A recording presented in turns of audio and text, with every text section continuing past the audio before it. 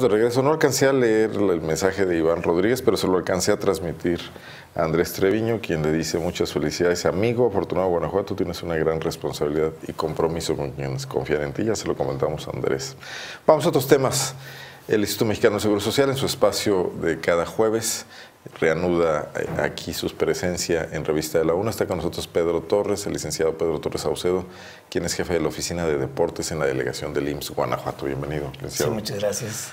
¿Qué nos viene a platicar? Que es, bueno, a ver, en estos días hacer deporte es complicado porque hay contaminación ambiental y... Eh, sí, yo creo ¿cómo que... ¿Cómo se llama esta advertencia climatológica de que no está muy bien todo? Pues... Eh, alerta. La alerta que nos están precisamente en, este, cada día a través de la Secretaría de Salud. Inclusive en las escuelas es muy común que no puedan realizar este, el ejercicio al aire libre. Pues ellos son los que al final de cuentas nos marcan la, la pauta. ¿Qué alternativas hay para ejercitarse pues yo, yo pienso estos que días hay espacios de, de enero, de, sí. invierno, ¿no? Pues comúnmente, pues ahorita ya, ya empezamos a ver que estamos en 2018 y toda la gente empieza a salir a, a hacer ejercicio. Ya los vemos pedaleando, corriendo, trotando, individual, en grupo.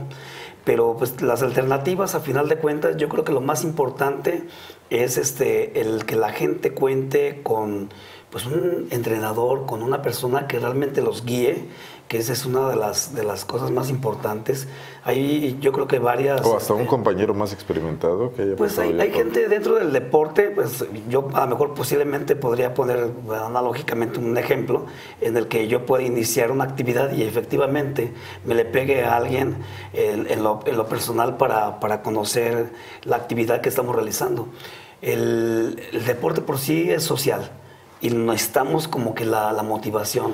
Eh, dos preguntas. Hay estas aplicaciones en internet, porque muchos te dicen, ya bajé una app para hacer ejercicio en la casa, para bajar unos kilos y ya estoy dándole. ¿Son recomendables? No, yo pienso que no son recomendables. La gente... ¿No las hacen expertos? No, pues es que ese es lamentablemente uno de los errores más grandes que nos podemos encontrar, el que la gente primero deja de comer y se mete en ejercicios excesivos.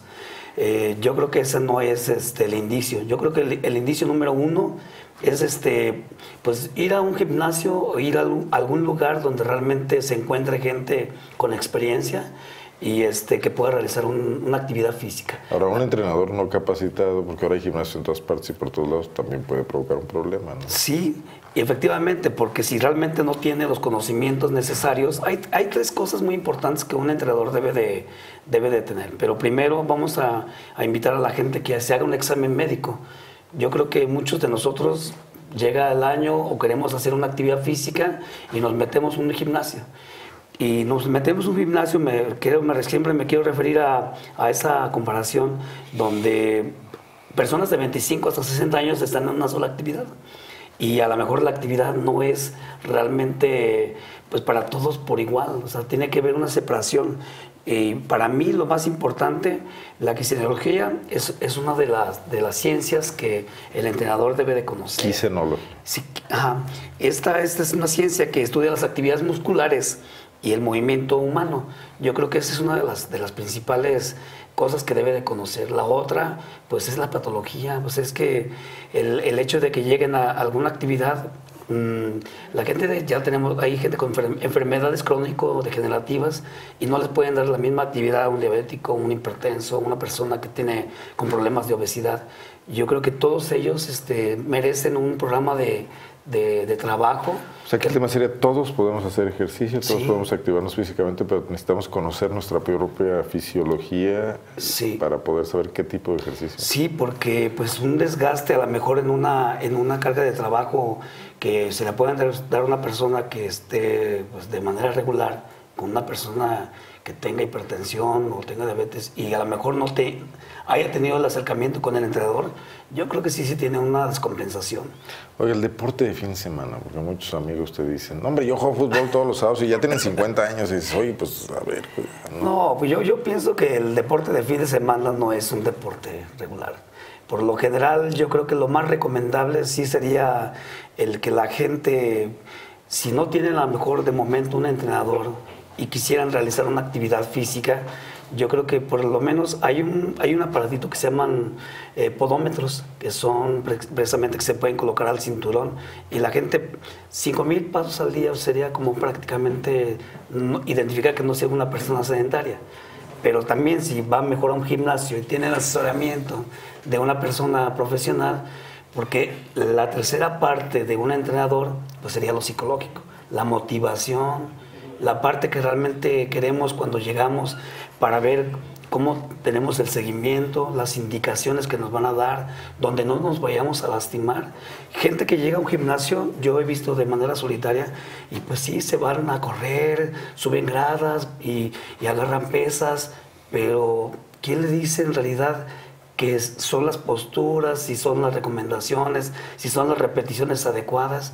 Yo creo que sí, sí es importante por ejemplo, en el caso del Instituto Mexicano del Seguro Social, que ahora comienzan los cursos, precisamente ya la siguiente semana, que tenemos actividades tanto acuáticas como deportivas, en terrestres, eh, se cuenta con licenciados en educación física y cada uno de los grupos pues están divididos de manera que se pueda atender a cada una de, de esas actividades. Los tenemos divididos desde los niños, adolescentes, adultos mayores, tenemos trabajos específicamente. ¿Capacitan entrenadores ustedes también? Sí, los maestros continuamente se, capacitan. De hecho, acaban de regresar este, cinco docentes que se capacitaron en RCP, en salvamento. Y yo creo que pues ese es un plus a final de cuentas de que cuando la gente conoce ya una institución, eh, yo creo que les da la seguridad. Más que todo les da la seguridad en cuanto a que están depositando su confianza en alguien que realmente conoce precisamente el trabajo deportivo. Ahora, no sé si tenga el dato, porque sé que no es su área, pero llega mucha gente con padecimientos derivados de una mala práctica deportiva a las instalaciones de seguro a atenderse médicamente. ¿Es común? Mm, sí, no, efectivamente no tengo el dato, pero tenemos el dato aproximadamente de la gente que normalmente atendemos. Nosotros este, anualmente estamos atendiendo a más de 4.000 personas en las diferentes actividades y también tenemos alternativas porque hay deportes que en realidad no se requiere tanto esfuerzo como por ejemplo hay algunas actividades que son para los adultos mayores o para todos los grupos etarios, que puede ser como la yoga, el tai chi chuan, que son realmente disciplinas de relajación, de concentración y que es una alternativa a final de cuentas para para cada uno de los usuarios que acuden a nuestra unidad.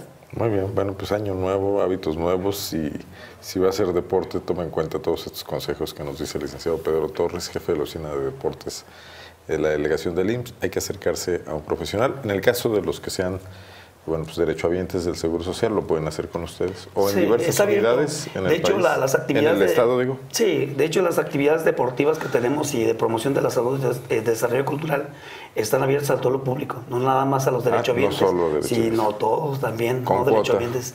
Sí, eh, hay una respectiva cuota, las, las, únicas personas que no pagan son los jubilados y pensionados y las personas con discapacidad. ¿Esto en todo el estado? En todo el estado. Tenemos unidades en Celaya, Irapuato, Guanajuato, este, en Salamanca. Aquí en León tenemos cerca de la subdelegación, Prontato Reslanda, y tenemos también en León 2, donde termina Mariano Escobedo, y en el Centro de Seguridad Social, precisamente a un lado de la T1, que es donde está el, club. Municipios más pequeños, por ejemplo, en Silao y Clínica todo ahí todavía, ¿no?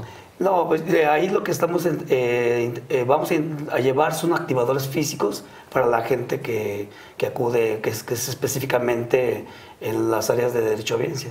Muy bien, pues muchas gracias. No, pues gracias a ustedes. tenemos como siempre buenos consejos de parte del Instituto Mexicano de Seguro Social. Yo voy a una pausa, regresamos en un momento.